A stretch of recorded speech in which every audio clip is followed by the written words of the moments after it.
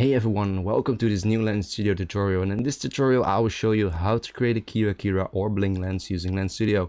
Make sure to subscribe and hit that notification bell so you stay updated when I upload a new video.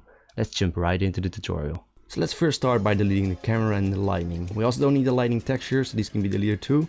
Then just drag and drop your grid texture, the edge detection material which can be found in, in the Discord server and your bling texture. As you can see the bling texture has a black background and is a square image and also the grid texture has a black background and this is the size I'm using. So now let's create a graph empty material and rename this to Kira Kira.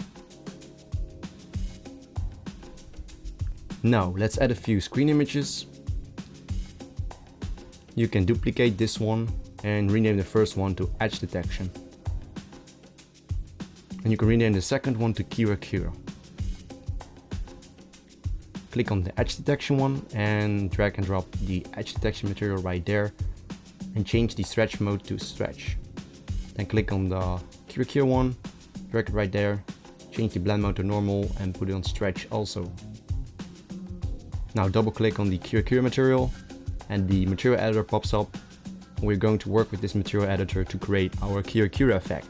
The first couple nodes that we are going to add is the camera aspect node which will get the aspect ratio of the camera. Next, we'll be adding the integer parameter and an integer is basically a whole number which can be positive or negative but also 0 is an integer. You can rename the integer parameter to grid amount. Now, we need to divide these values by adding a divide node. We also need to add a round node and the round node rounds the value to the nearest whole number. And most importantly, we have to add the construct vector node. Make sure to disable these values right here so we have a vector 2, the x and y value. Basically the, what the construct vector node does is combining two input values into one output value. And then connect everything like this.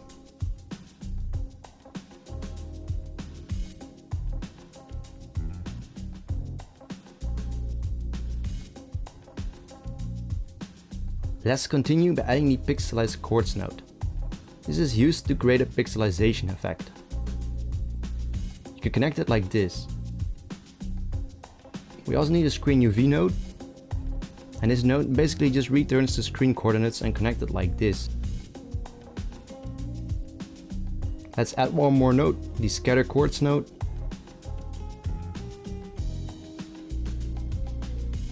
And it's very important that we change the center values to zero. Just click on the node and change this value to zero. Add four 2D parameters to your scene you can just copy them. And make sure to rename um, this one to device texture.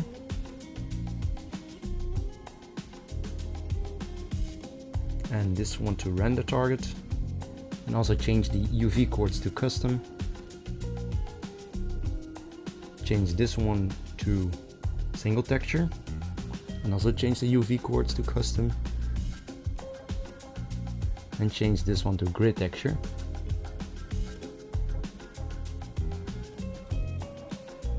Let's make some more space right here. Now add some multiply nodes.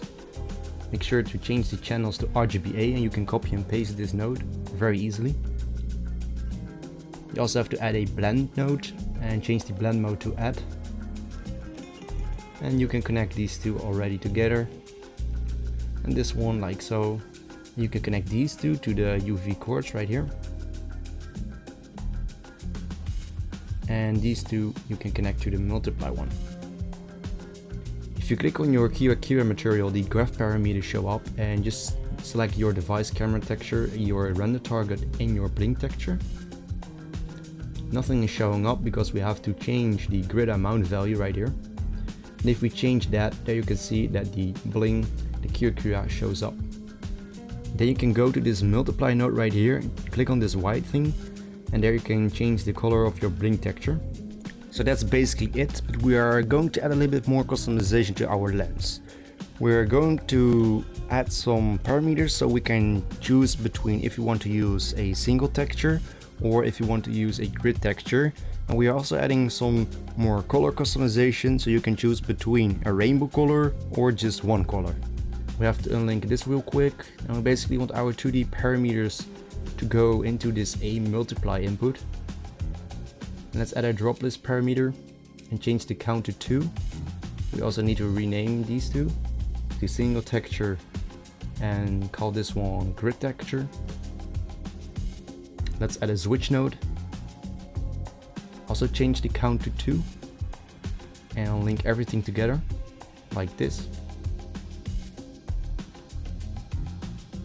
And now it's very important to change the default values to 1. And after you've done that, you can link it to the A input. Here you got the graph parameters. You can rename this also to select texture. And now you can change between a single texture or a grid texture.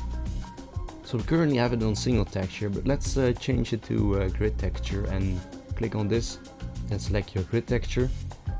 And as you can see, it doesn't look that good yet because I have to change the grid amount to 18. And let me explain to you how this exactly works. You can create your grid texture in Photoshop or any other photo editing software. It has to look exactly like this with no cutouts or half of the particle missing. Make sure that you use this sizing and the black background or the effect will not work correctly. If you look at the first row of this grid texture from the left to the right, you will see that I used 18 single bling textures. You need to change the grid amount value to this number, which is 18 in my case. You can just use one bling texture also. This will save you a lot of time creating a grid texture and it will save you some space. In this tutorial, I gave you the option to do both. Let's work on our color selectors. You can add a drop list parameter and the first one will be no color so that it will stay white. The second one will be one color and the last one we can rename that to rainbow. Then add a switch again, link these two together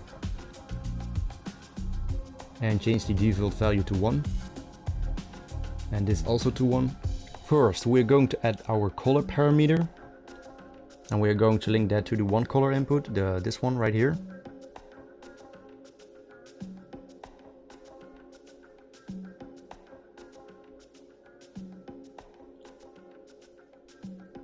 Add a float parameter and rename this to speed control.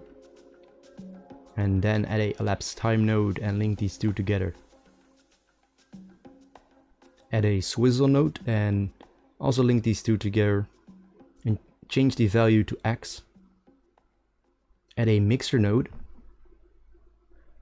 First change these to X and change the value to 1. This one to X, keep it on 1 and change this to RGBA. And this has to be changed to B. Then link it to the B input value. Then you have to add a HSV to RGB node and link everything together. It should look like this. Then link it to the multiply node. We can rename the custom drop list to select color by just clicking on the node and changing the title right here. Currently it's on no color, but we can change it to one color and there we can change the color itself.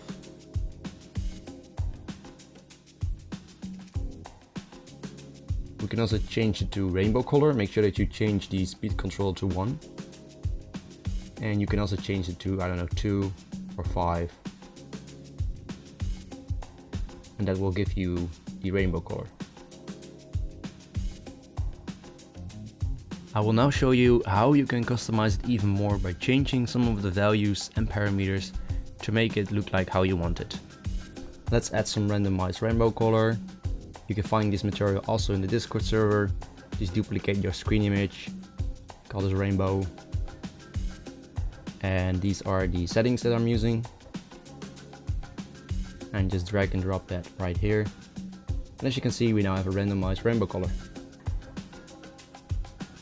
Let's say we want to add more or less bling to our lens. Just click on the Kira Kira material, make sure that you have single texture selected right here. Just change the grid amount to whatever you want if you put it lower, there will be less bling, and if you put it higher, there will be more bling.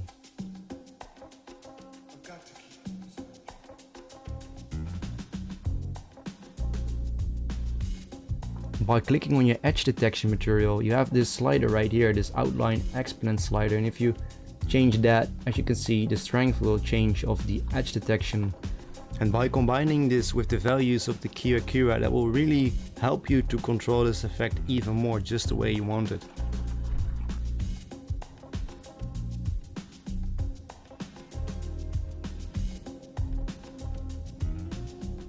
And that's how you create the famous Kira Kira or Bling Lens. Let me know in the comments if you have any questions or tutorial suggestions.